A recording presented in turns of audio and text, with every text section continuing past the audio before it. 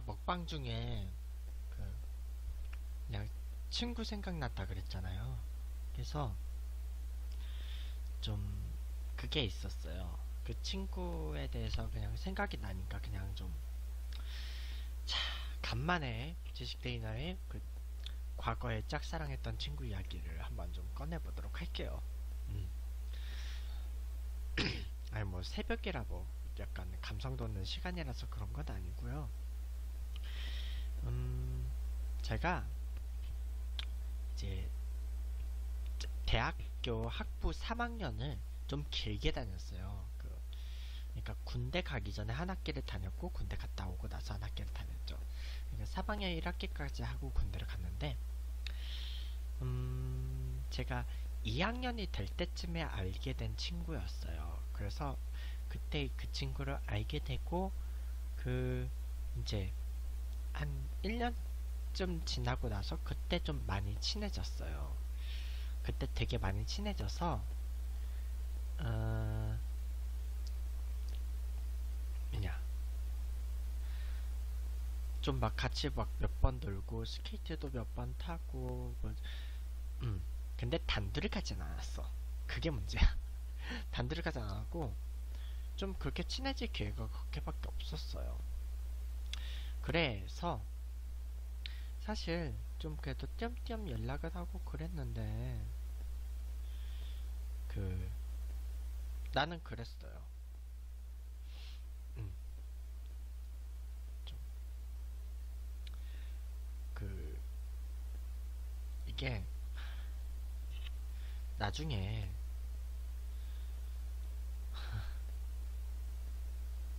어 그게 있잖아. 그 군, 이제 군대를 갈 때가 된 거야.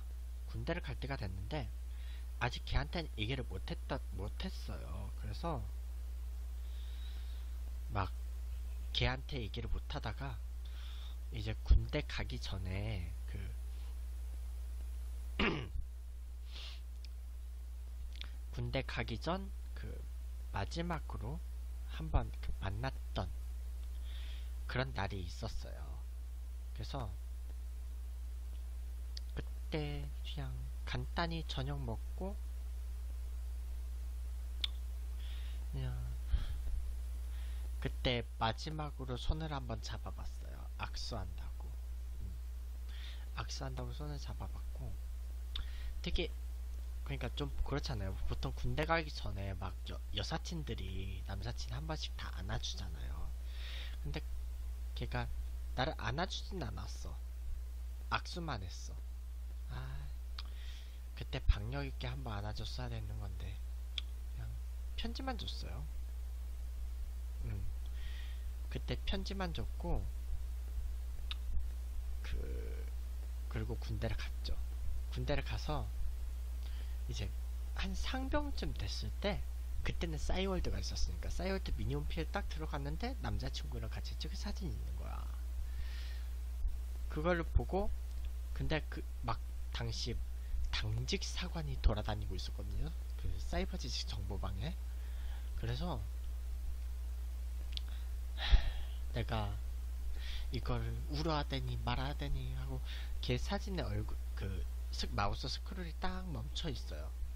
그때 이제 그 당직 사관이 사실 내 직속 사, 그 간부였던 행정보건관이었어요. 그래서 나보고 하는 말이 뭐 마음에 두고 있었던 그 친구니 맞느냐 하니까 네 그렇습니다. 그렇게 했죠. 그래서 그때 이제 제가 상병일 때 그러니까 저는 그 아이를 확실 그 친구를 확실히 붙잡지 못한 채 군대를 갔고 결국 다른 남자한테 뺏긴 거죠. 음. 뺏기는 바람에 이 이제 이제 그냥 마음속 한 구석에 되게 막 아리는 그런 기억만 고스란히 남게 됐어요.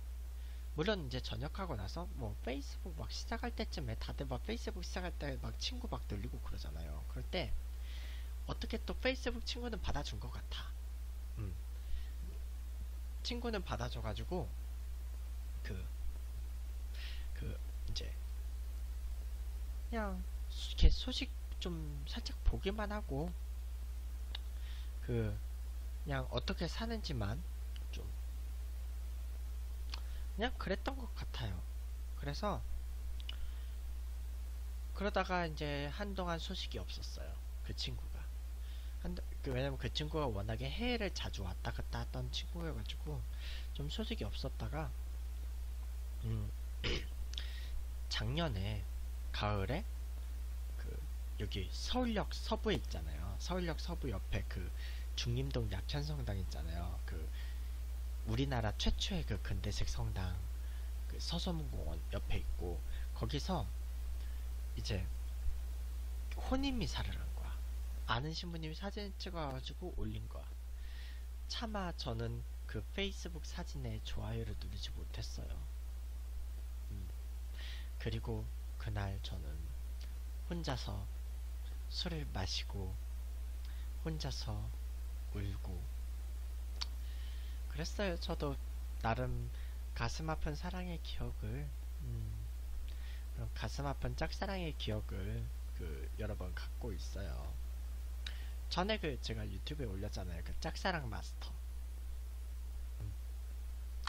그래서 좀 4년 전에 실현 당했던 애도 그렇고 그러니까 저는 친구들 중에 좀 그러니까 제가 여사친들이 좀 많아서 그런 건지 모르겠는데 좀 모르겠어.